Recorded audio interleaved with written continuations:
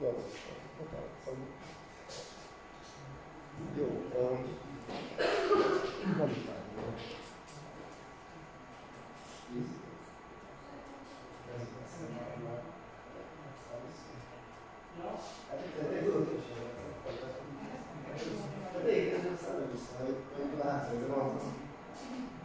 Azért bemutatkoztasnám. Sziasztok, üdvözöllek benneteket, szeretnénk elkezdeni. Én Richard vagyok, és a Microsoftnak a Data és AI CSI és Cloud Solution architektje vagyok. Alapvetően fejlett analitikai, fejlett adatbázis, illetve machine learning, AI, aminek hívjuk modellezéssel foglalkozom, ezekkel kapcsolatos modell solution-okkel, és itt van a. Aki pedig, sziasztok, a Partner, Partner csapatában Partner Strategist, tehát igazából a partnereinknek a technológiai stratégiáját, meg a mm, mer haladtát segítem a partner partnernek foglalkozó csapat, ahol technikai én értek tényleg milyen a dolgokhoz. Elsősorban és most technikai tudásom van, mélyek technikai tudásom van. De mellett mögöttünk áll egy fantasztikus solution architect csapat, aki pedig kisegít minket az olyan területeken, ahol kevesebb tudásom van, például nekem a később látható databuszos dolgokat én kevésbé értek, viszont cserébe értek mindenféle botokhoz, meg alkalmas fejlesztéshez, mindenféle ismerős nagyon dolgokhoz, az internetes segíteni. Persze, így kiegészítjük egymást. Nagyon fantasztikus. Jó, köszönöm szépen. Majd kapcsolódunk egymással, hogy az elejére a másik rész is értsük. Alapvetően csak így elgondolni, érdekes, három fő ilyen solution van nálunk most, ami, ami Apps and Infra, alkalmazásos infrastruktúra, Data és AI, ami főleg az én csapatom, illetve DevOps-os témák. Um, Bots and Databricks a címe, de most kicsit meg lesz fordítva, Databricks-en fogok kezdeni, utána már fogok beszélni a botokról majd. Volt egy előző előadása ennek, ahol az Azure-ról, a Machine Learning-ről kicsit generálisabban, illetve a Machine Learning Studio-ról beszéltem. Nem tudom, hogy ki volt itt akár az előző előadáson. Á, király, tök jó. Á, szuper, nagyon jó. Jó, akkor egy, volt, aki itt, volt, aki itt volt, volt, aki nem volt itt. Akkor volt egy ilyen feedback, és volt egy ilyen mondás, hogy feedback is a gift, hogy nagyon jól láttuk a modellezést, de érdekes lenne azt is elmondani, hogy oké, okay, hogy jutunk el addig, hogy machine learning modellekről beszéljünk, és hogy egyáltalán modellezést elkezdjük, illetve oké, okay, van egy kész modellem, akkor, akkor mit kezdjek vele, vagy mit csináljak vele. És ezzel kapcsolatban csak itt bevezetők, hogy gyorsan hoztam egy-két szlájdot, nem túl sokat. Ugye van az adatelemzésnek egy ilyen end-to-end folyamata, arról beszélünk, hogy onnantól kezdve az adatok keletkeznek, és egészen addig, hogy, hogy valahogy felhasználásra kerüljenek, mit kezdünk velük. Um, szerintem elmészem, jó. Um, tehát adatokat számos helyről kezelhetünk, hogyha ilyen machine learning feladatokról beszélünk. Ugye vannak uh, különböző fat fájlok, ugye nagyon sok magyar cégnél lehet az, hogy még Excel-en gyűjtik az adatokat TXT-ben, vagy, vagy egyéb ilyen fájlokban. Ugye adatbázisok, ezek lehetnek felhőben, lehetnek on-premise, ezek különböző adatbázis rendszerek lehetnek SQL, MySQL, Oracle, Teradata, akármi. És származhatnak ugye már IoT device-okból is, szenzorokból is, és szenzoratokat is gyűjtetünk. Számos különböző adat. Vannak ugye még a struktúrált adatok és nem struktúrált adatok. Struktúrált adatok, amik, amik ugye klasszikus adatbázis rendszerekben vannak, vagy táblatos rendszerekben, ezeket nagyon kezelni, viszont vannak olyan adatok, amiket nem lehet ezekben a rendszerekben kezelni, ezek nem struktúrált adatok, ilyenek képek, videók, audiofájlok, szenzorok is tudnak ilyenek lenni, nagyon sok minden egyéb. És az első fázis az az, hogy összegyűjtsük ezeket az adatokat. Ezzel kapcsolatban hoztam egy ábrát, egy pillanat. Hát lépek oda. És meglátjuk milyen fel. Ú, uh, érdekes lesz. Látjuk, hogy mennyit fog látszani. Ha, jó, látszik, király, nem voltam biztos. Jó, van egy Microsoft által ilyen modern adattárház referencia architektúránk, erre rá lehet keresni, és nagyjából ott nagyon bal oldalon láthatóak a logfájlok, a különböző adatokat gyűjtögetünk, és akkor ezeket hogyan tudjuk feldolgozni. Az egyik ilyen, hogyha ilyen klasszikus adatokról beszélünk, tehát nagy század adatokról, az a Data Factory, az egy nagyon jó kis eszköz, a ügyfelek nagy adatok nagyon szeretik, azzal tudunk data pipeline-okat képíteni, és azzal tudjuk különböző, akár on-prem, akár hibrid szenáriókban is, vagy akár tisztább felhőben. A lényeg az, hogy más rendszerekből begyűjteni és beldolgozni az adatokat. Mi a cél, hogyha egy nagy vállalatnál vagyunk? Ez a cél általában, hogy egy helyre tereljük az adatokat. Ez általában a data lake a fogalma. Most a data lake nem egy exakt fogalom, mert általában csomó mindenki más ért alatta, de sok esetben, hogy bizonyos egységben egyfelé egy helyre tereljük az adatokat. Van egy ilyen eszközünk, egy ilyen storage pas szolgáltatásunk, az Azure Data Lake Store, ami, ami nagyon jó erre. Kérdés itt, hányan tudjátok, hogy mi a különbség az IAS, a PAS és a SAS között? Van, tudja, hogy is hallott ezeket a fogalmakat. Nem, jó. Jó, oké, szuper. Szóval van az IAS, az a Infrastructure as a Service, van a PAS, ami a Platform as a Service, és a SAS, ami a Software as a Service. Az IAS az, amikor a felhőből tulajdonképpen infrastruktúrát használtak, mint szolgáltatás, tehát ugye nem tűzitek meg a szervert, a Windows szervert, vagy SQL szervert, hanem azt kvázi fizetitek, mint szolgáltatás kell. Ilyen, ez, ilyen az, hogy egy nagyon jó példa végigvezesse. SQL adatbázist rengeteg különböző képen tudtok a felhőben használni. Van olyan, hogy veszek egy, egy tulajdonképpen egy, egy Windows szervert, és rátelepítetek a, a, az SQL-re. És ez tulajdonképpen ez majdnem olyan, mint hogyha on-premise lennétek, és lenne egy gépetek, és arra rá van telepítve. Ez akkor jó, hogy nagyon speciális igények vannak, hogy lift and shift szenárióban, tehát amikor van egy létező üzleti folyamat és processz, és abban átmozgatunk on-premise környezetbe, felhőbe, és félre az üzleti felhasználók, hogy ne legyen, ne legyen meg semmi változtatva, hanem minden úgy maradjon, ahogy volt, akkor ez így működhet. Egy módon az ilyen IAS szolgáltatásokkal, hogy olyan, mint hogy on-prem lenne, tehát akkor nagyjából a felhőnek az előnyeit nem használjátok ki, illetve akkor az ilyen dolgokat, mint pecselés, upgrade-ek, stb. a supportot kvázi magatoknak kell ellátnotok. Tehát minden, a legnagyobb részét, ami előnye a felhőnek, az, az nincs meg így. A passzolgáltatás az, amikor nem is kell törődnötök azzal, hogy mi az infrastruktúra, nem is kell törődnötök azzal, hogy mi van mögött, ezt ugye a Microsoft azt úgy intézi az adatközpontjában tulajdonképpen egy azonos adatbázist, vagy egy azonos szervet kaptok, és azt tudjátok használni, nyilván megmondjátok, hogy mekkora legyen a tárhelye, meg különböző specifikációit, de, de tulajdonképpen, hogy mennyire a backup, meg legyen egy archiválása, stb. De, de nem még fog érdekelni, nem egy infrastruktúra lesz, és onnantól kezdve a Microsoft vállalja a supportot, vállalja a pecselést, a pecseléssel sem kell foglalkozni, upgrade sem kell foglalkozni, semmivel, hanem az, az úgy van és használható. Ebben az esetben a PAS szolgáltatást használtak, akkor ö, vállalja a Microsoft a high availability-t, ugye a felhős szolgáltatásoknak különösen most nyilván a Microsoftot leginkább beszélni, az egyik legfontosabb kulcselem, hogy amit használsz, az mindig működjön és fennlegyen. Erre szokott lenni a garancia az, hogy 99,9%-os high availability, aztán néha az a 0,1% ami, ami mondjuk nem, de, de, de rendelkezésre álljon bármikor szükségesen. Illetve még egy előny a felhőnek, hogyha egy szolgáltatást használtok, akkor az az, hogy felre kapcsolható. Tehát mindent tudtok ütemezni, és minden akkor fut, amikor akartok. És nem az, hogy mondjuk 0 24 üzemben valami, vagy azt változtatni kell, vagy, vagy hogyha hirtelen megváltozik a szenárió, akkor, akkor azt nagyon nehéz, hogy tiketet kell feladni, hogy üzleti folyamatokon keresztül, bürokratikus üzleti rendszeren keresztül kell végül, hanem, hogy, hanem te magad azt tudod te ütemezni, hogy, hogy működjön. Illetve nagyon könnyen felskálázható, nem tudom hányan találkozunk ilyen találkoztatok-e már ilyen üzleti nagyvállalati szenáriókkal. Én nagyon sokat tapasztaltam ilyet, hogy ha van egy SQL adatbázis, akkor, akkor kifogjuk a tárhelyből, és akkor fel kell adni egy tiketet, és akkor bővítsék, és akkor az lehet, hogy eltelik 5 nap, mert túl van terhelve a helpdesk, stb. Ez nem annyira szerencsés.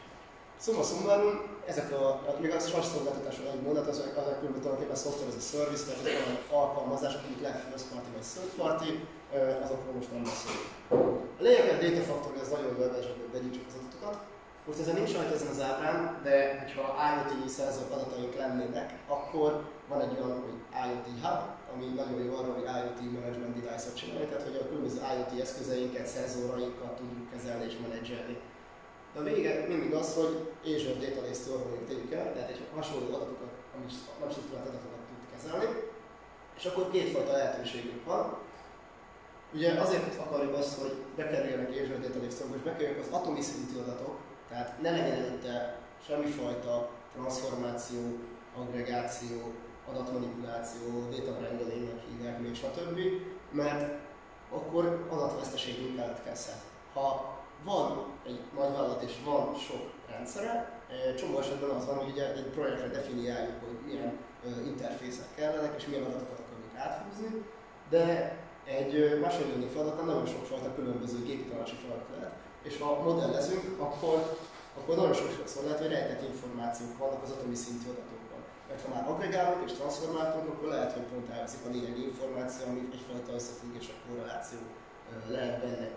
Illetve lehet az, hogy ugyanarra az adat forrása később egy más projekt fog épülni, pont kell neki az atomi szintű adat, vagy pont egy olyan adat kell neki, amit korábban leválogattunk, ezért azt mondjuk, hogy az összes adat atomi szinten kerüljön be a data lake Utána, most itt van egy furcsaság, és ezt mindjárt megmagyarázom, mert van egy ilyen, hogy Azure Synapse Analytics, ez tökéletes, totál új dolog, ez két hetes történet. Korábban az ott egy Azure adattárház volt, és Azure DVH, SQL DVH szerepel benne. Volt SQL DVH, SQL DVH 2.0, ez tulajdonképpen az SQL adattárház vagy DVH 3.0 lenne, csak átnevezték most Synapse-ra. Um, ez tulajdonképpen adattár, ez egy klasszikus adattárház lenne, csak annyival kiegészül, hogy most már tud az struktúrált és struktúrált adatokat is kezelni, ez egy másik történet. Most tegyük, tegyük fel, hogy ez egy azon adattárház. Tehát ha azon Data Lake Store-ban az akkor utána, amit nem akarunk elemezni, vagy egyébként utána már transformálásra kerülhet, már agregálható és struktúrált formában rendezhető, azt elküldhetjük a adattárháznak, a synapse és akkor utána arra építhetünk egy analysis service, egy adatmodellt, egy kockát, amire meg rá egy Power BI és lehet riportálni. Tök jó. De mi, amiről most beszélni akarunk, az a database lesz. Tehát atomi szintű adataink vannak, nyers adatok, semmiféle dolog nem történt velük, nincs tisztítva se, semmi, akkor azokat elküldjük, és a database-re rá tudunk csatlakozni például a Data Lake Store-ra, megcsináljuk az elemzésünket, annak van valami outputja, vagy egyébként ott is lehet, a database-et is lehet arra használni, hogy transformáljuk adatokat és agregáljuk, stb. Az megcsináljuk ott is, és akkor elküldjük azt a Synapse felé, a adatárházunk felé. Illetve, hogyha van egyfajta machine learning modellünk, és annak a machine learning modellnek van egy outputja, akkor egyrészt azt is eltárolhatjuk, illetve azt is valószínűleg az eredményét riportálni szeretnék valamilyen formában, elküldhetjük például egy Power BI riportnak. Jó, ennyit szeretem volna egy a modern adattárház referencia architektúráról. Ha van kérdés közben, akkor szóljatok kérlek, és tegyétek fel a kezetek. Visszaadjuk erre És az ebre. Jó. Ha szemfülesek voltatok, akkor ez a logo, csak a fekete-fehérre, ez a Databricks logo. Tehát, tehát eljutottunk oda, hogy akkor data gyűjtjük az adatokat, Data Factory, letároljuk az adatokat, storage, és utána elemezni akarjuk az adatokat. Databricks, és akkor itt jön a prepare data. Ahhoz, hogy egy machine learning modellt hogy tudjunk építeni, ahhoz először megfelelő minőség, mennyiségű minőség adatoknak kell lennie. Alapvetően négy véről beszélünk, amikor, amikor big data-ról beszélünk. Ugye van az egyik a volume, az a, az a nagysága az adatoknak, de a big data nem csak arról szól, hogy a, a volumen nagy, hanem beszélünk itt a velocity-ről, sebességről, az adatok sebességéről, milyen gyorsan termelődnek az adatok. Viszont ebben az esetben nagyon fontos, hogy van még a variability, harmadik ami az adatok változék, változékonysága, illetve az, hogy mennyi a különböző fajta típusú adatok vannak, és van a negyedik, veracity, ami az adatok igazságossága, illetve tehát tulajdonképpen a data quality-ról van szó, tehát milyen minőségű az adatok. És itt nagyon fontos a prepared data, arról szól, hogy, hogy, hogy jön egy adat, és ezt honnan tudom, hogy jó, és sok esetben előfordul az, hogy ugye elkezdjük nézegetni az adatot, ennek van egy folyamata, és az első machine learning modell általában nem szabad sikerülni, általában nem megy, mert kijön mondjuk, hogy accuracy 60% és nagyon csalódottak vagyunk, és miért? Azért, mert sok esetben kiderül, hogy hát igen, az adatforrásokban valami nem stimmel, és ezért általában úgy mondjuk, hogy tulajdonképpen ilyen, hát nem per programmingban, de hogy, hogy közösen kell egy csapatba dolgozni, egy virtuális csapatokat létrehozni, hogyha egy data science feladat van, és mindig kell egy domain expert, tehát van a data scientist, aki mondjuk érti, hogy kell machine learning modelleket csinálni, de én például számos, én az egész nagy izagákban számos céghez megyek, én foglalkozok gyógyszeriparral, kiskerrel, nagykerrel, energiaiparral, számos más céggel, és nyilván az, az egy, azért, tehát, hogy eléggé szuperhősnek kell lenni, hogy minden, mindegyik területen mindenkinek hatalmas még tudása legyen, valamelyik tudás nyilván össze lehet szedni, de nem lehet lenni az, amikor ott egy senior expert, aki egész életében a energiaiparban, olajiparban dolgozott, nyilván mélyebb tudása van, mint aki így járkál. Úgyhogy az a legjobb, amikor van egy data scientist és van egy domain expert, leülünk együtt, és akkor utána ö, el tudja mondani, rá tud nézni az adatokra, és ha kijön az, hogy 42, a eredmény a predikciónak, akkor utána mondhatja, hogy ez hülyeség, ez baromság, ez nem lehet. Most akkor nézzük meg jobban az adatokat, és akkor, aha, igen, jó, ez így valamit nem stimmel, meg akkor végignézzük az adatokat, hogy hát itt ezek az értékek vannak, és mondjuk, hogy lehet, hogy lehet, hogy az a szám más mértékegységben van, lehet, hogy normalizálni kell az adatokat, lehet, hogy standardizálni kell az adatokat, lehet, hogy, hogy ott volt egy hiányos érték. Volt olyan, hogy van egy ilyen kis trükkje, meg hibája a machine modelleknek, hogy ha nagyon nulla közeli értéket akar felvenni, akkor néha a predikcióba tud csúszni mínuszra.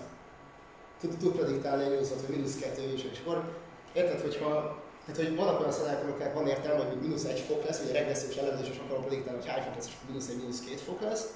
De lehet egy olyan szituáció, amikor hát jövő hónap mínusz két darabot fogsz eladni ebből a termékből, és akkor mm, nem jó, tehát az nyilvánvalóan nem valós, és akkor azt le kell kezelni, ok is kell kezelni, hogy akkor oké, nyilván mínusz értéket nem lehet fel a predikción.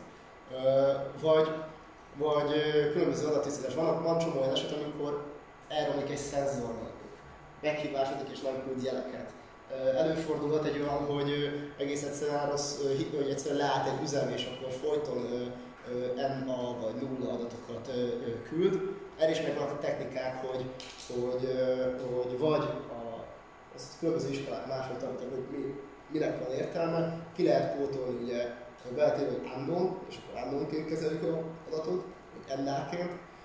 Lehet úgy kezelni, hogy feltöltjük a hiányzó adatokat az átlaggal, lehet, hogy feltöltjük az adatokat a mediánban, ezekkel különböző dolgok, vagy pedig egy simán egy konstanst választunk, és egy konstanssal feltöltjük a hiányzó adatokat. Ezek mind olyan eh, adatelőkészítési, adatelőkészítési szempontok, amiket végig kell az, hogy működjön az, amit csinálunk. Tegyük fel, hogy sikerült, hogy nagyon hosszan lehetne beszélni. Úgy csak egy időt, jó. Um, rendben az adataim, akkor építeni szeretnék egy modellt. Erről, akik voltak legutóbb már sokat beszéltünk, különböző fajta machine modelleket akarunk írni. Az, akik nem voltak legutóbb attól, hogy építettek már machine learning modellt, vagy Pythonban, vagy felhőben még csináltatok bármit, programozás, vagy valami, oké. Okay. Akkor röviden, ugye gépi tanulás modellek, a fő, hát lehet ezt R nyelven, Python nyelven, Scala-ban is programozni, meg egyébként még más nyelveken is. Nagyon sokáig azt mondtuk, hogy az R nyelv az, az oké, okay, de van egy ilyen hatalmas verseny az R-ben a Python között, és az utóbbi években a Python az kilőtt, Úgyhogy minden olyan szolgáltatás, amit itt látok tulajdonképpen, vagy ami, amit a Microsoft UI, Pythonban érkeznek ki a legújabb frissítések, a legújabb fejlesztések, szóval aki ezzel szeretne foglalkozni, a határozottan azt látom, hogy Python nyelvvel kezd el foglalkozni, illetve a Databricks-et a Spark fejleszt, eredeti fejlesztők csinálták. A Databricks-ben egy Spark Engine van, ez egy nagyon erős big data adatfeldolgozásra alkalmas, streaming analitikára alkalmas engine, mm, és annak a programja a Scala, most nem mennék bele mélyebben, tehát hogy Python-t érdemes tanulni, még Scala-t érdemes, sőt, a, ugye úgy működik az egész, hogy az engine-nek az alapja egy Scala nyelv, szóval, hogyha Databricks-en, mindjárt hamarosan látni fogjátok, ha Databricks-en E, több nyelven is lehet programozni. Ha R, Python vagy SQL nyelven indítasz egy, egy, egy, egy, egy notebookot, akkor tulajdonképpen a háttérben ő mindig lefordítja szkálára, és utána azon hagyja végig utána a Spark Engine-en. Tehát egyébként, hogyha valaki, ha meg olyan adatkapacitások vannak, vagy, vagy olyan modellek vannak, ahol ez akár számottevő lehet, akkor még egy hatékonyság, performancia, optimalizáció szempontjából érdemes lehet szkálon elven megírni egy, egy részeket, mert egyébként akkor azt nem, ugye, akkor van egy fordítás, és akkor kihagyod a fordítás részét, akkor direktbe szkálában megy és hagyja végig a, a futtatást. A Python, ami meg az R, meg az érni, az igazából, ami mögöttem van, az tulajdonképpen egy, egy ilyen kiegészítő szkálának, tehát igazából nem is Pythonnak hívják, hanem PySparknak, illetve az R Spark R-nek hívják. Lényeg az tulajdonképpen, hogy ezeken a nyelveken is lehet programozni a database vannak modelljeink, ugye négy fő, hát négy fő, de van is mondanak, négy fő machine learning feladat van, van a regressziós elemzős, amikor valamilyen értéket szeretnénk prediktálni, mekkora lesz a hőmérséklet, mennyi biciklit szeretnének kikölcsönözni, stb. stb.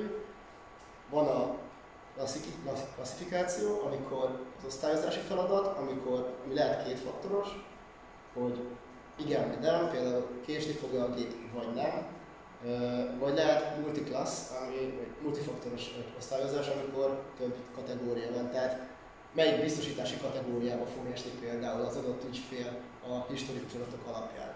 Ez egy klasszifikációs feladat lehet. Lehet anomália detekció. Az anomália detekcióban lehetnek tök jó ilyen ott a jellemzően van olyan feladat, ami credit risk feladat, ilyen hitelbírálat, hogy, hogy ez a, lehet, hogy detektálja, hogy az az ügyfél valószínűleg nem fogja tudni visszafizetni, vagy nem valószínűleg rossz adós lesz. Vagy van egy nagyon jó példa, és már bejönnek az ilyen képelemzés, meg videóelemzés feladatok, és ez tök jó átkötés, mert később majd képelemzésről fogunk beszélni, legalábbis. Um, tegyük fel, és van egy ilyen példa, ez egy tök jó, és van még egy példa, egy Microsoftos példa, hogy vannak drónjajuk, és a deploymentre is el fogunk térni, vannak drónjajuk, és van mondjuk rajta egy Full HD-s vagy 4 kamera, és vannak vezetékek. És ugye ez régen működött, van például egy ilyen norvég példánk, hogy, hogy én voltam pár hónapja ott, és ott nagyon durva, hogy a hegyeken, hatalmas magaslatokban keresztül feszítve viszik a villamos vezetéket, és akkor azt úgy karban kell tartani, és ez úgy viszonylag nehézkes, főleg, hogyha elremlik és valami történik vele. És van egy olyan lehetőség, hogy egy drónt küldjenek ki, és a drón a magas minőségű kamerával veszi a, a képeit a vezetékeknek. És hogyha betanítod arra a modellet, hogy jó minőségű villamos vezetékek, hogy hogy néz ki valami csápatlan vezeték, és hogyha attól eltérő valamit lát, valami rendellenességet, akkor jelezzen. Ilyet csinálunk egyébként, vagy van tervben például a nullnál jelenleg, van, a nullnak, van az upstream, downstream, meg a midstream, a, a upstream a kutatástermelés, a downstream a finomítás, a midstream pedig a, az, az, egy, az egy általában lesajnált egy kisebb üzletágban volnak, de létezik, azok a vezetékek, gázvezetékek. Olyan hatalmas hogy Nos, azok is ugye rostásodnak, korodálnak, mindenféle bajuk lehet, kiukadhatnak, stb. És azt is azt csinálják, hogy Sanyi bácsi vagy Józsi bácsit kiküldik, és mennyi szakaszosan mennek végig, és nézik a különböző szakaszokat a gázvezetékeknek, és elnézik, és ha észreveszik, hogy valami valamelyikkel nem stimmel, akkor akkor megjavítják. De ez nem túl hatékony, meg van egy időbelisége, hogy mikor veszik észre, hogy valami baj van, nem stimmel.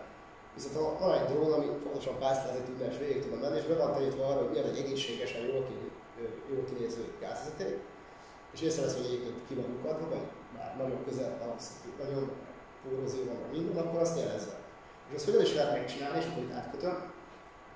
Tehát van, van a build modell, ugye be kell tanítani a modellt, és azt historikus adatokon, mondjuk előző 5 év adatok alapján, vagy ha képekről beszélünk, hogyha kevésbé időbeliségről beszélünk, hanem tegyük fel, hogy 100 ezer kép alapján, betanítjuk a jó példákra a modellünket, majd jön egy tesztelési szakasz, általában azt sem, hogyha van mondjuk, akkor tegyük fel maradjunk így 100 ezer adatunk, akkor 85 ezerre betanítjuk, és akkor mi 15 ezeren megtesztelünk. Ha időbeliségről beszélünk, akkor tegyük fel 5 évi training data van, és akkor utolsó egy évben, ami még rendelkezésre áll adat, tesztelünk. És akkor egy anomália detekciós feladatnál például akkor ugye a tesztelés része az az, hogy tényleg eltalálta el, hogy a anomália detekciónál, ahol, ahol rossz volt a, a gázvezeték minőség és jelez. Ugye attól függően, hogy milyen machine learning modellről beszélünk, különböző metrikák vannak arra, hogy hogyan tudjuk kiértékelni a modellnek a, a, a helyességét. Ez a, lehet a root mean squared error, a, a, igen, a RMS-re, meg a MAPE, a mean absolute percentage error, különböző metrikák alapján a modellnek a, a, a eredményességét ki tudjuk értékelni. A előbbi példánál maradna, maradva, tegyük fel, hogy kiteszteltük a modellt, ezt érdemes pászolni futtatni azért a tesztet. Ugye van egy veszély is itt a adattisztítás, ami visszaugor egy percet, meg a, mm, meg a training data nagyon figyelni kell arra, hogy van egy olyan hibája vagy veszélye a machine learning modellezésnek, amit úgy hívunk, hogy overfitting. Az overfitting az azt jelenti, hogy ha nagyon rátanul arra a specifikus adatszetre a modell, és arra nagyon jól tud prediktálni, de hogyha egy új szenáriót kap, akkor, akkor már kevésbé, akkor, akkor tökéletesen félrecsúszik a modell. Hanem pont olyan adatok vannak, hogy pont azok kiadnak egy olyan mintázatot, ami, amire nagyon rá tud tanulni. Mit lehet ezzel kapcsolatban csinálni? Van egy ilyen klasszikus példa regresszióra, hogy bicikli kölcsönzés, és akkor, hogy hány biciklit fognak kibérelni.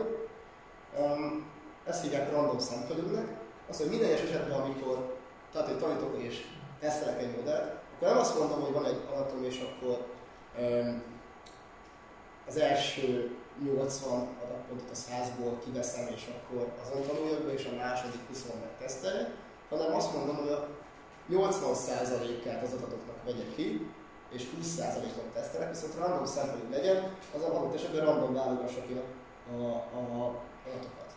Ebben az esetben, ha továbbra is megmarad, amit tegyük fel 85%-os a modellek a accuracy akkor mondhatjuk azt, hogy hogy igen, nem overfitting a modell, nem tanult rá egy bizonyos adatra, hanem a random szabály miatt ez ténylegesen látott valami olyan összefüggést, ami egy valós létező állandó összefüggés a, a, az adathalmazban. Jó, hát akkor ha tényleg és tudtuk verifikálni, és azt nyilván egy domain experttel is, meg, meg a csapattal is verifikálni, rendben a modellon, akkor um, tudjuk a modellt most ez a management modell, ez az egész, ami itt van, ez egy machine learningről szól, ez egy kicsit más, most akkor nem fogok hosszabban kitérni, de a lényeg az, hogy lehet utána a modellt becsomagolni, ezt hívják konténerizációnak, van erre technológia, a Docker technológia, és lehet egy kvázi image készíteni belőle, kvázi becsomagolni a modellt és szállíthatóvá tenni.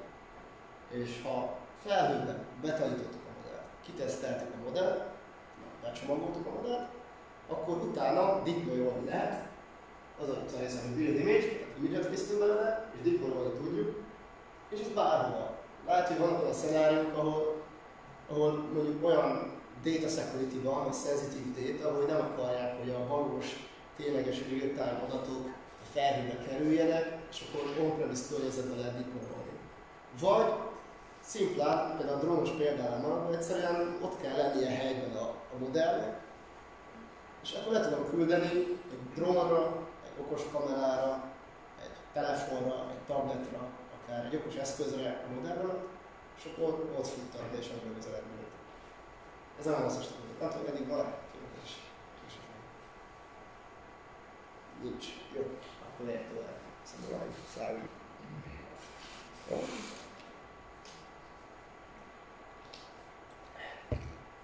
Még egy fontos dolog, egy DevOps-os szempontja az egésznek. Ha van egy modell, hiába lesz mondjuk 80%-os az accuracy simán lehet az, hogy, hogy mivel ugye, hogyha jön egy modell és elkezdünk prediktálni, elő, először kezdünk el egy nagy a predikciós modelleket használni, akkor azok megváltoztatják az üzleti folyamatokat is. Szóval elkezdenek azt szerint cselekedni például. Ha megváltoztak az üzleti folyamatok, megváltoztatnak az adatok is, és utána lehet, hogy elkezd bizonyos dolgokat máshogy kezdenek el csinálni az emberek, és megváltozik a modell, megváltozik a adat, megváltozik az adatok, és elkezdődik a modellnek az accuracy-je droppolni. És akkor azt látjuk, hogy 80%, 70%, 60%, és akkor úristen, mi van? Hát ez egy teljesen természetes dolog. Bizonyos időközönként kell egy ilyen, ilyen, ilyen uh, iteráció, kell egy ilyen devoszos uh, gondolkodásmód, hogy ezt fontosan fejleszteni kell akkor. Hát és ha meg kell nézni a modellt, akkor, akkor újra kell tanítani, akkor újra kell azon a datasetet, akkor lehet, hogy újabb tisztításokra van szükség. Egyébként azt mondjuk erre, hogy ugye azt, az akartam, hogy nálunk három terület van, Upsend Infra, Data és AI és DevOps, de az úgy működik, hogy nekem például az a feladatom, hogy akkor legyen egy blue modell, legyen egy kész modell, és akkor van egy DevOps-os kolléga, aki azt, ennek az egésznek a menedzsmentjét utána kezeli. És, és ezzel foglalkozik. Én csak átadom mondjuk a modellt, és lehet, hogy vagy becsomagolom, vagy be se csomagolom, azt csomagolja be, az a kérdés, és valaha de valahogy így. Még ez utolsó szlájd. Nagyjából ezt nem tudom is feltétlenül machine learning modellekről, hogy így kell gondolkozni, hogy ilyen spektrumok vannak. A legfelső az, hogy ugye azt szoktuk mondani a Microsoft oldalról, hogy ne találjuk fel újra a kereket. Tehát azért a Microsoftnak van egy 100 fős data science csapata, Redmondba vezető, kifejezetten okos data scientistekkel. Most ha már olyan predikciókról beszélünk, hogyha amit már nagyon sokan kitaláltak és kifejlesztettek, nem akarjuk újra feltalálni, minek nullára. van gépilátás, beszédfelismerés, szövegfelismerés, nyilván van, ami elsőképpen a szövegfelismerésnek, fordítóeszközöknek, ezek inkább először angolul jönnek ki, aztán a többi nyelven, tehát van, ami még tökéletes, mint magyar nyelven, de azért alakul, és ezeket nem kell. Nyilván, hogyha van egy nagy vállalat, akkor lehet, hogy egy vállalatnak, de akár egy KKV-nak is hatalmas pénz és energia és erőbefektetés lenne, hogy akkor nullára a Pythonban megírja ezt az algoritmus, ezt a tudást behozza. Sőt, ahogy láttam, ez csak egy ilyen kitekintés, nagyvállalatok esetében is azt tapasztalom, hogy kint szenvednek, hogy magyar piacról data engineereket vagy data scientisteket tudjanak igazolni. Egyszerűen nem, mert van, ahol, van amikor külföldről esetleg a régióból sikerül, de nagyon nehéz találni. Akkor sokkal egyszerűbb az, hogyha minimális tudást felszednek, megtanulják használni az azóta fel, és ilyen pretty modelleket elkezdenek használni, mert saját use már tudnak mutatni, és, és elkezdeni modellezni ilyen minimális szinten. Akkor van, amikor van egy fejlesztő, és akkor a saját frameworkében szeretne Python kódot írni, a Jupyter módukban, vagy most a Visual Studio kódban is lehet, illetve igen, a különböző data science eszközök, meg különböző frameworkök, aki nagyon, utána nagyon menő a TensorFlow, bárhol mindenki TensorFlow-t akar használni. Viszont amiről ma akarunk beszélni, a nagyvállalatoknak ha most nem csak KKV-król beszélünk, és nem csak egy data scientistről beszélünk, aki azt akarja, hogy csak bármilyen eszközön programozhasson, egy nagy nagynak vannak különböző egyéb igényei. Verziókezelés, security, GDPR compliance, megbízhatóság, különböző egyéb security dolgok. Számos dolog, amit, amit egy nagyvállalati struktúrában produktív, produktív környezet legyen, ne csak egy fejlesztői környezet, hanem produktív környezet legyen, ez a, alulról a második sor a produktív services, az Azure Databricks, az Azure Machine Learning és a Machine Learning VMI tudják szolgáltatni. Mi most a Databricks-ről fogunk beszélni. Egy utolsó gondolat, lehet infrastruktúra, például a Databricks-en is látni fogjuk, a produktív környezetek esetében különböző tulajdonképpen Hadoop klasztereket húzunk fel a háttérbe, amikor a modelleket futtatni szeretnénk, ezek a Hadoop klaszterek képesek a elosztott valószínű számítások elvégzéséhez, hogy gyorsan és hatékonyan végezzék el ezeket a komplex számításokat. És egy alapregressziós klasszifikáció az elég ilyen, eléggé alacsony, nem túl vas, túl erős vas klaszter, viszont hogyha már képi elemzés vagy videóelemzésről beszélünk, akkor már lehet, hogy egy GPU-s klaszter kell, sőt most már van egy új fejlesztés, az FPGA, ami nagyon kép közeli komoly processzor erőt, és ez tényleg atomerőmű szintű dolgot tud produkálni. Jó. És akkor Databricks-ről fogunk beszélni, meg egy pár szó. Ugye, ja, meg át kéne tennem ide az egészet. Így. Jaj, de érdekes a felbontásra. Um, hát ez a felbontás érdekes, ez nem meglátjuk, hogy, hogy, hogy vele. Ez így sokkal jobban is tud kiérni. Na mindegy, ez a, a Azure portál, ha ütünk a portál.azure.com, itt tudunk különböző felhős szolgáltatásokat igénybe venni. És mindjárt kiderül, hogy mennyire látszik minden. Hát nekem itt van csomó Azure szolgáltatás, amelyiket vannak tök jó dolgok.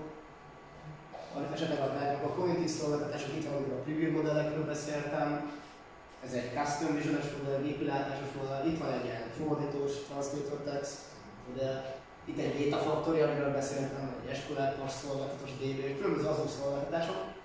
Ott fent egy nagyon is az Azure Maps, tehát most már van egy ilyen saját TomTom alapú térképes megjelenítő szolgáltatása is az azure De most erre az Azure Data csinálni, foglalkozunk. Ez annyi, hogy fogom és létrehozni. Van egy subscription van, van egy előfizetésem, van egy resource groupon, egy erőforráscsoporton, van egy bizonyos műsori keretem, ugye Azure-ban, hogyha Azure szolgáltatás, felhő szolgáltatásokat akartok használni, tulajdonképpen három lehetőség van.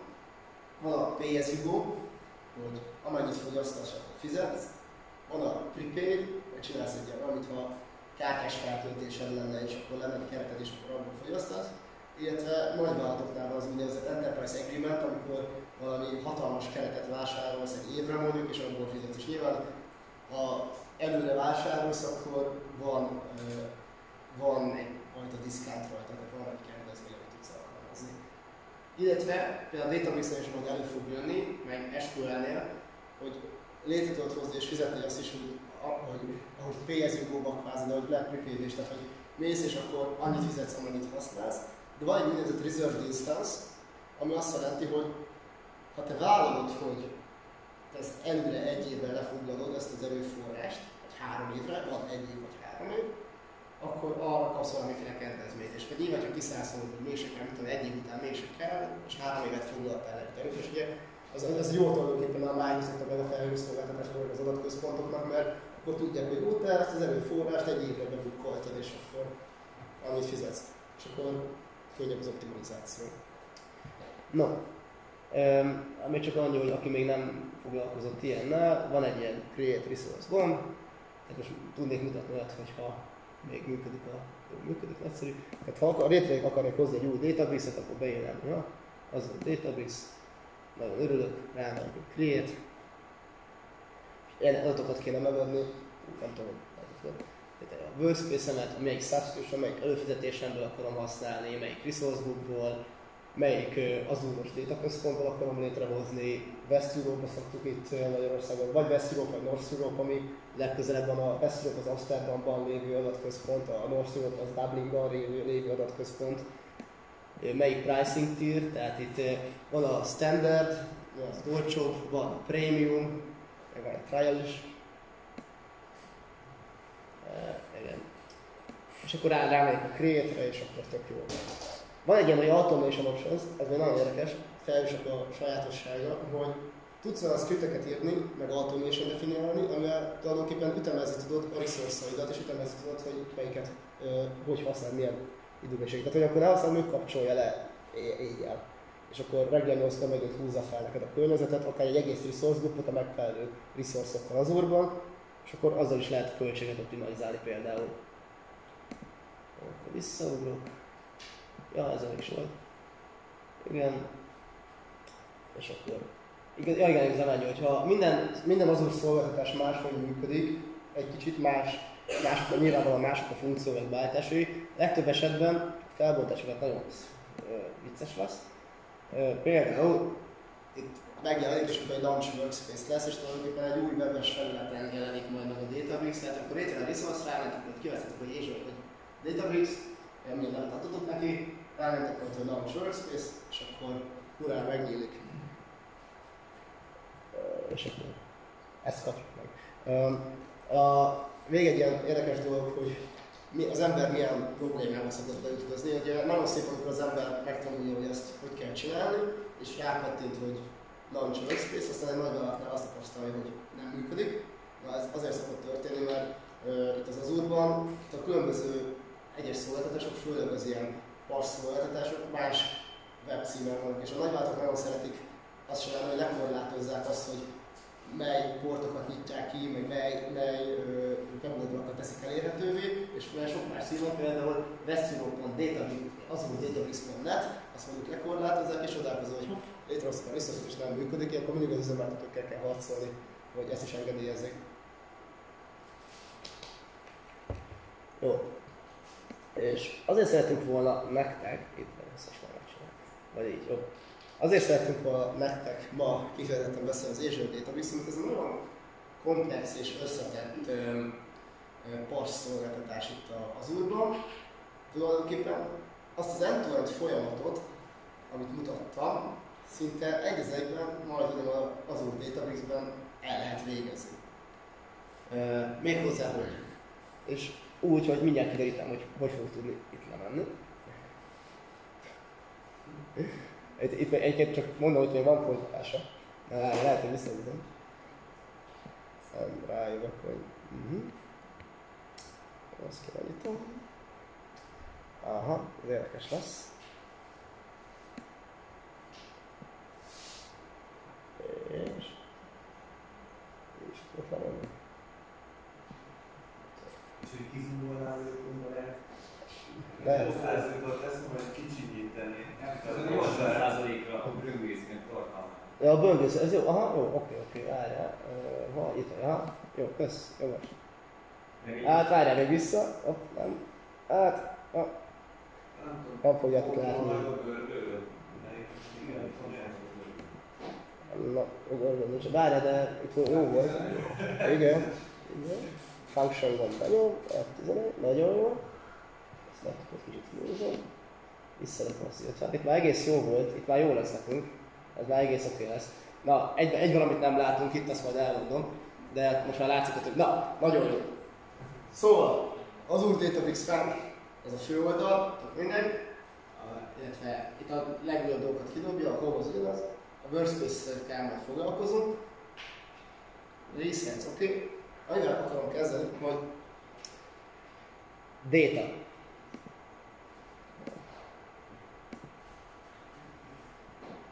A, mutattam a modern adattárház struktúrát, ha emlékeztek, és volt egy Azure Data Lake Store benne.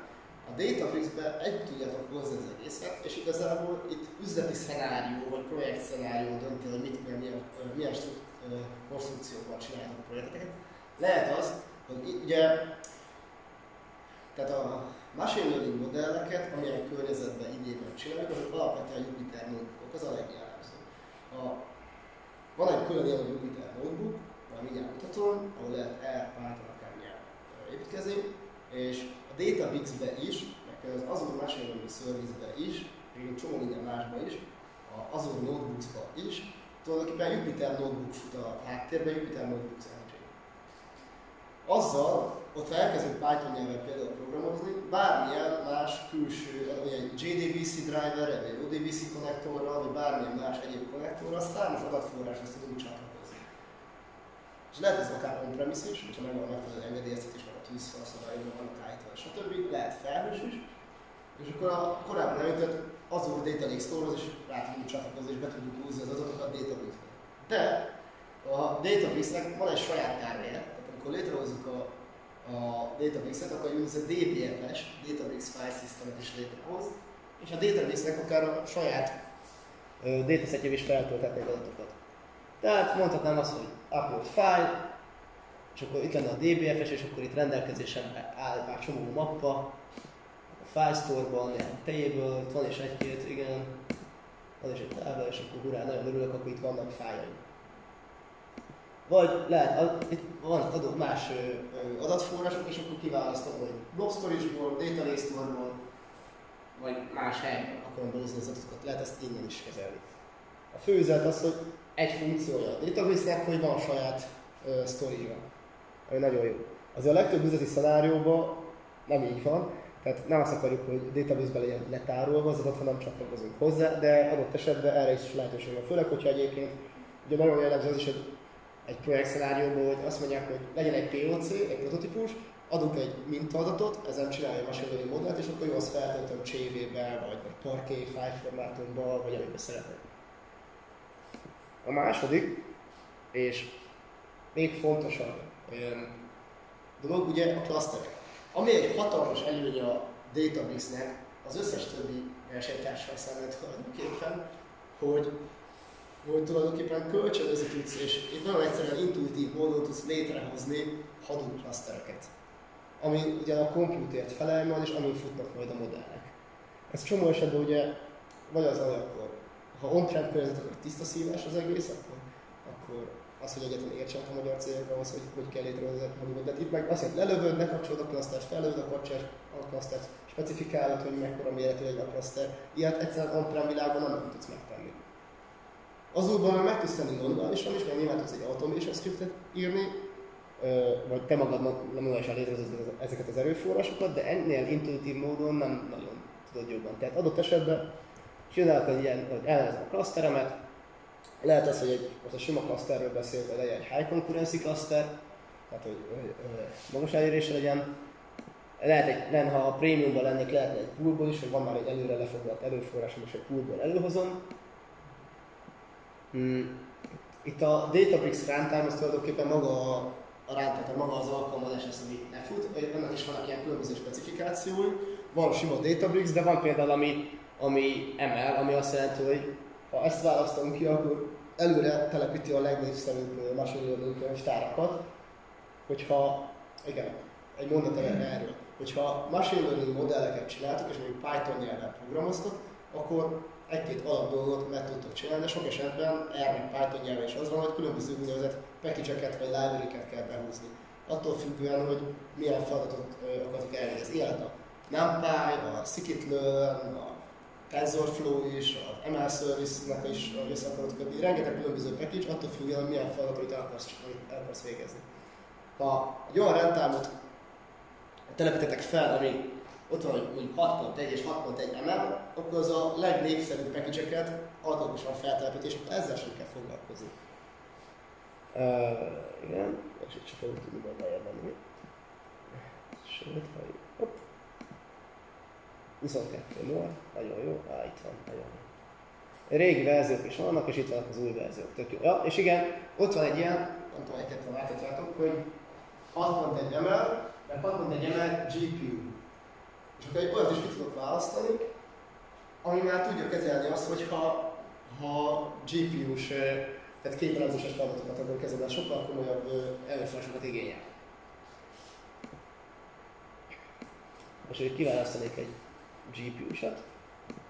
Egyébként itt automatikusan jelzi, hogyha más beállításokat is el kell végeznem, mert lehet, hogy az előfizetés, ugye azonban tudsz olyat csinálni, meg nagy tudok csinálni, hogy valamilyen szinten a budgetet kontrollálni kell, tehát limitálják azt, hogy milyen erőforrásokat vehetsz igénybe. Tehát ne az legyen, hogy, hogy Józsi a data science csapatban megint valami eszemelt dolgot ötletelt ki, és akkor a legnagyobb klasztert akarja létrehozni, ami másodpercenként 10 ezer dollárt fogyaszt.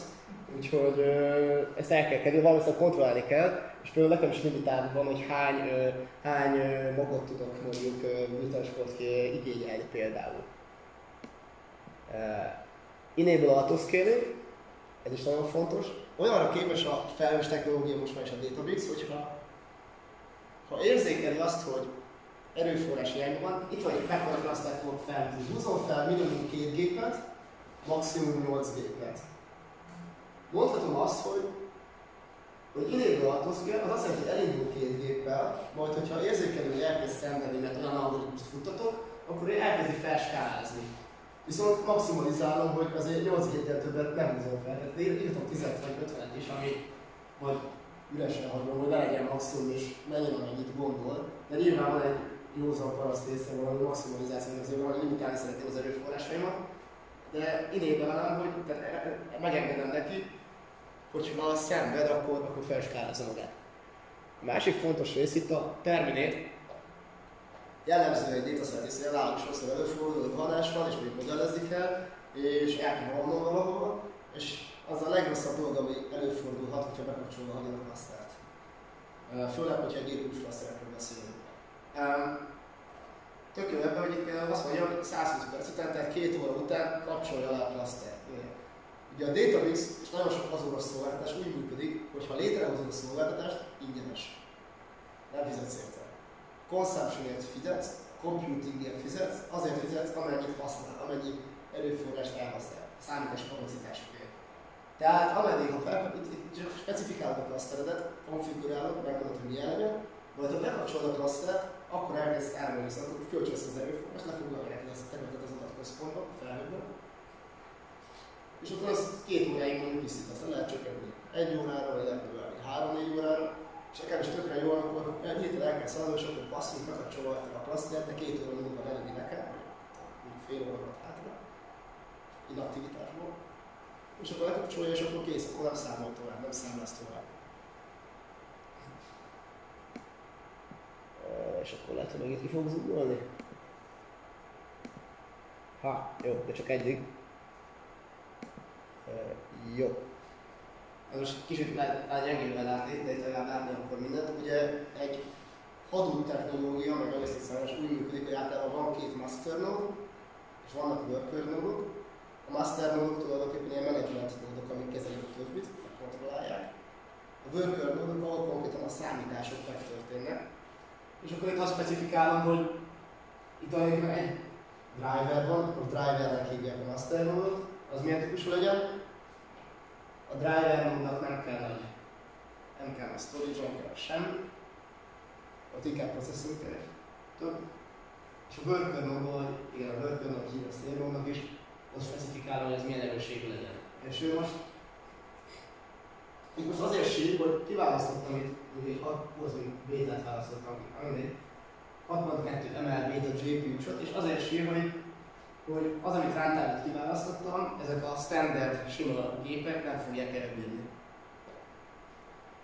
Ezért, és itt van, az a, itt van a nagy érdekesség, amit a bal alsó sorokban nagyon kisbetű mérettel láthatok.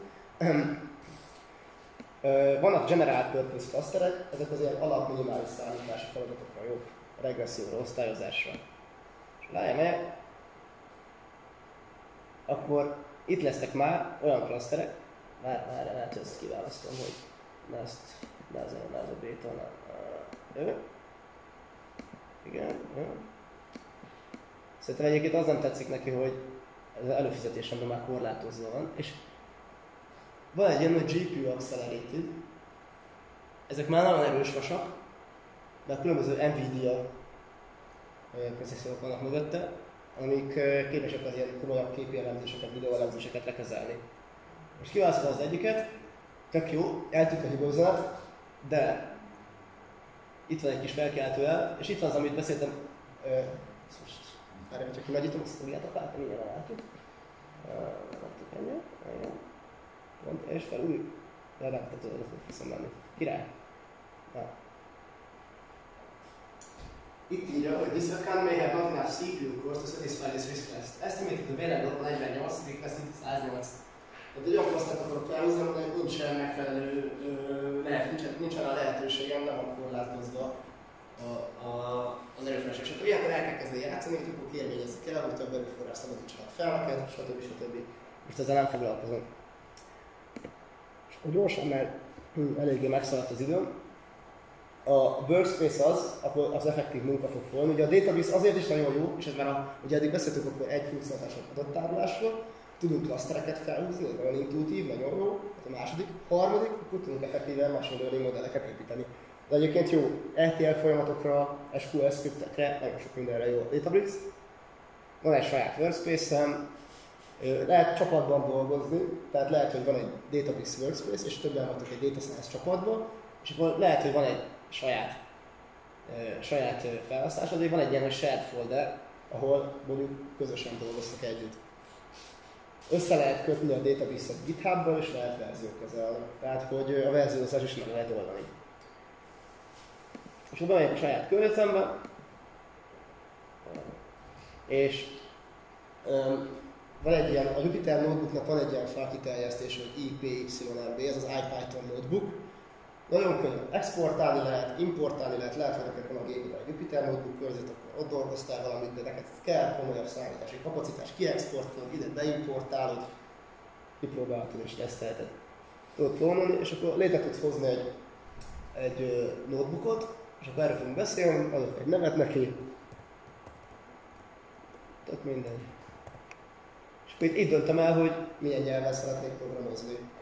És akkor nyilván valami Python nyelven szeretnék. Kész. Ja, igen, és akkor itt kiválasztanom, hogy melyik a cluster, amit használni szeretnék. De most még nincsen, mert az be kell kapcsolnom egy cluster, szóval visszaugrok. Csináltam egy ilyet már korábban, hogy cluster GPU. Az alap, volt egy alap clusterem, hát az egyre elhasolt a feladatnál, amit akartam csinálni. Van egy olyan cluster GPU, és start. És akkor azok a specifikációk alapján ő elkezdi felkapcsolni azt a klasztert, ami néhány percet vesz igénybe. Um, amit még, igen, egy még gondot, amit elfelejtettem mondani. Mondtam azt, hogy tudtuk egy runtime-ot csinálni, ami ML runtime, tehát feltölti az alapkönyvtárat. De mi van akkor, hogyha ha olyan könyvtár, speciális könyvtárat akarok használni, speciális Python package ami nincs benne abban az alaprendszer. Akkor van egy olyan libraries, ide tudtok jönni, és van ilyen install és ugye Pythonban programatikusan meg tudnátok csinálni azt, hogy, hogy behúztok új library-ket, új könyvtárakat. Na de, nem akarjuk, ugye az egész felhős világban automatizáció arról szól, hogy nem akarunk manuális munkákat végezni, vagy újra és újra csinálni dolgokat. Ezért különböző környezetekből, tehát például megcsináltam azt, hogy itt van a Python PL, és elmondom, hogy mit, a- tudom például Light eh, GBM lista, és akkor elkezdek el feltárítani ezt a package mert a R-nyelvnek is, meg a Pythonnak is van egy úgynevezett repozitória, amiben ő automatikusan tudja, hogy online, a webes felületről, hogy kvázi open source dolgokról van itt szó, behúzza azt a, azt a library-t. Most lehet, hogy ez nem fog neki tetszeni, mert most elkezdtem felkapcsolni a klasszert, és már közben akarok rátalapítani egy package tehát ez most lehet, hogy nem fog tetszeni neki, mindegy. De lényeg, ami lényeg, hogy ha ezt megcsinálod, akkor legközelebb, ha lekapcsoltam a klasszert, akkor is legközelebb, amikor felkapcsolom a klasszert, akkor már megjegyezte, és fel fogja telepíteni azokat a plusz library-ket, amikre nekem még szükségem van. Most idén hiányban majd mindjárt át kell adnom Márknak a szót, úgyhogy kicsit gyorsítani fogok a történeten. Itt egy Jupyter notebookos környezet. Ami példát hoztunk, és amiről még már is fog így beszélni és demózni, pont egy képelemzéses feladat, az az MListers package, amikor kézzel írott számokat akarjuk, hogy felismerjünk kvázi gépi látásos technológiával a modellről, és mondja meg, hogy ez milyen szám. Ért- Értelmezze és tudja ezt kezelni. Itt láthatjuk, hogy mindig kiírja azt, hogy milyen Python nyelven, tehát hogy Python nyelven van, meg milyen nyelven tudunk programozni.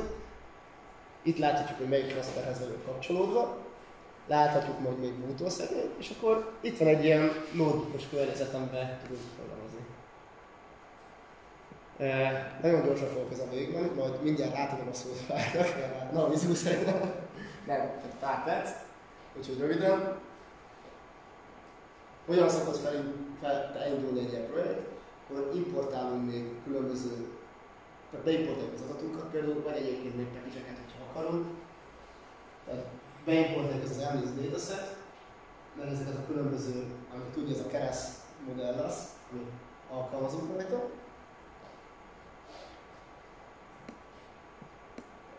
Igen, tudok majd így normálisan haladni ebben. Elvégzünk különböző adatfeldolgozó, adat, adattisztításos feladatokat, meg szétszedjük az adatokat, most ebben a mélységében nem, nem fogok belemenni.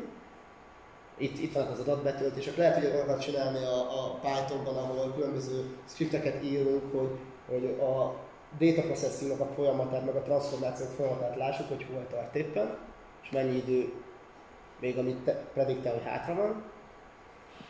A képi elemzés, amit csinálunk, az tulajdonképpen ilyen matrixot fog generálni minden egyes képről, ami azt jelenti, hogy ha van egy számunk és egy képünk, akkor ott, ahol nincs, mondjuk, hogy tegyük fel, a háttér az fehér, és akkor a szám az fekete, ott, ahol, ott, ahol nincsen a számból egy részlet, ahol nullát fog beírni, ott, ahol pedig van a számból egy részlet, még feketével, akkor meg egy egyest fog beírni. És egy ilyen matrix táblázatot kell elképzelni az egészet.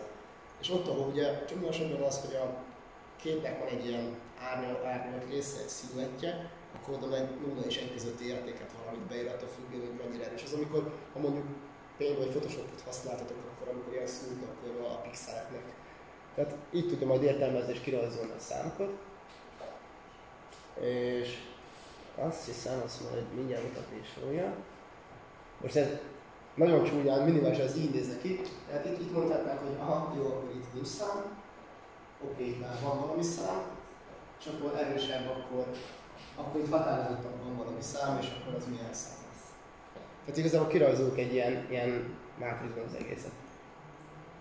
És akkor ezt jobban kicsit kizomolva és beszínezve azokat az értékeket, ahol van, van szám, minden nagyobb szám, akkor láthatjuk, hogy furá, ez egy 9-es.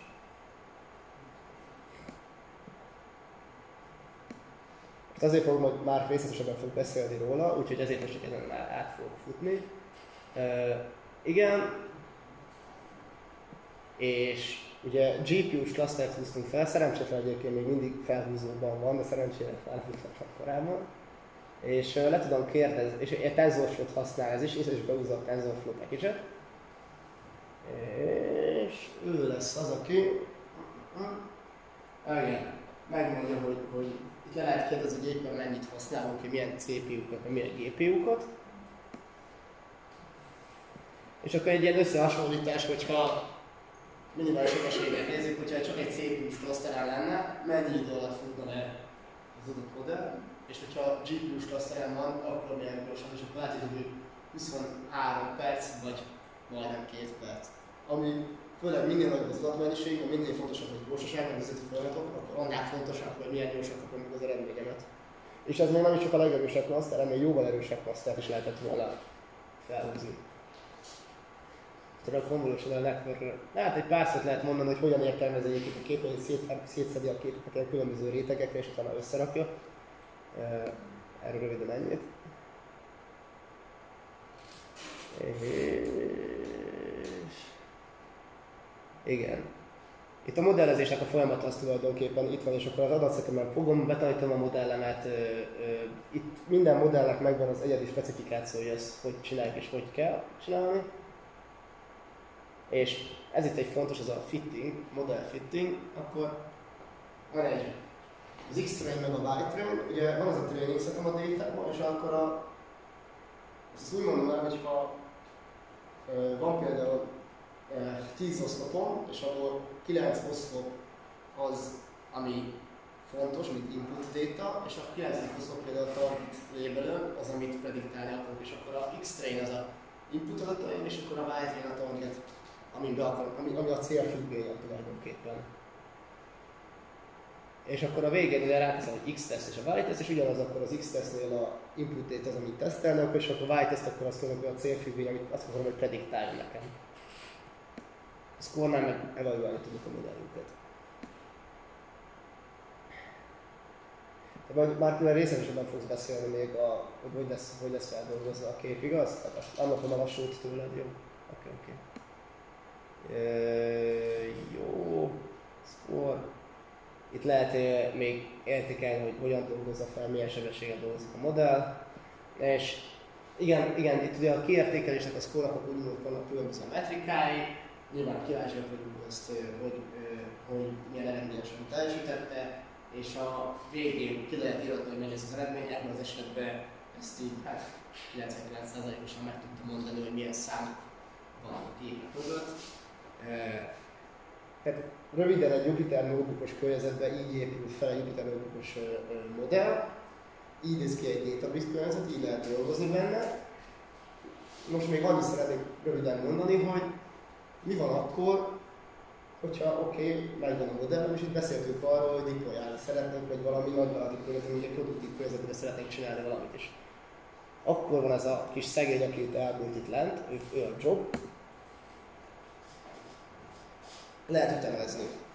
És azt szeretném, hogy nyilván csináltam még egy data pipeline itt a database-on, még képítettem, hogy a Spark Engine az képes streaming analytics-ra, képes arra, hogy e, folyamatosan küldjük az adatokat, hogy az automation option-nel beállítottam azt, hogy mikor húzza fel a környezetet, és mondjuk minden egyes reggel 8-kor érkezenek be adatok, és arra prediktáljon, vagy egyébként mondjuk tegyük fel 0-24 kell működni az bár kevésbé optimális, de a lényeg, hogy le tudom, le tudom mondani, mikor futtassa le a modellt.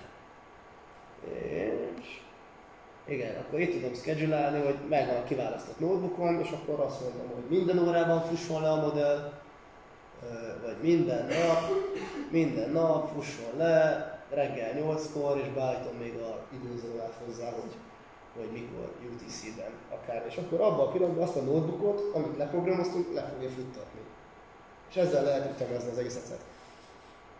Még egy dolog arra most nem fogok hosszabban kitérni, ennél még vannak szofisztikáltabb és még robosztusabb megoldások az Azure-ban. Az Azure Machine Learning Service-nek például még erősebb az ilyen produktív környezet. Ott lehet megcsinálni azt, hogy még a modelljeidet is verziókezelni tudod, a, a, ott tudod helyben becsomagolni és e, konténerizálni a modelledet, és ott össze tudod kötni Azure Kubernetes services ami egy ilyen konténer orchesztrációs eszköz, ami nagyon messzire vezet, de ott már nagyon még advanced dolgokat lehet csinálni. Ez viszont arra ütemezni tudjuk. Tehát általában úgy azt tudom mondani, hogy használunk Databricks-et, meg használunk az Azure Machine Learning Service mellette, megvan a modell eredménye, kössük össze a kettőt, akkor utána ott tudjuk a modelleket is lehet, nem csak a programkódot, hanem a becsomagolt modelleket is, meg különböző még a, a modellnek a accuracy is lehet verziózni, tehát tegyük fel, belegulunk a kódunkba, belegulunk a modellünkbe, és elrontunk valamit, mert simán elronthatunk valamit, és akkor oké, okay, ez jó, de, de melyik volt az a modell, amit, ami, ami, ami jól működött? Vagy vissza kéne menni, lehet, hogy három-négy modellel korábban akarok ugrani, akkor az, hogy Azure Machine Learning Service és lehet verziózni magukat a modelleket, meg az accuracy ezt vissza tudom fejlődni, és vissza tudok lépni három-négy ilyen komolyabb lépést. E, jó. Tehát még összefoglalóan, mi a négy fő funkcionalitás egy database-nek, adatot tudunk tárolni le, klasztereket tudunk nagyon intuitívan menedzselni, akkor a Workspace-et tudunk a Jupyter notebookos engine Jupyter notebookos környezetbe, Python, R, akármilyen kódon, machine learning modelleket csinálni, és uh, tudjuk sketchelni őket is, tehát tudjuk ütemezni őket is, és lefuttatni őket különböző módszerekkel. És szerintem én most itt átadnám már a szót, idővel is akkor köszönöm szépen. Átkapcsolsz a gépedre, vagy? Átkapcsolod a gépedre? Jó, oké. Okay.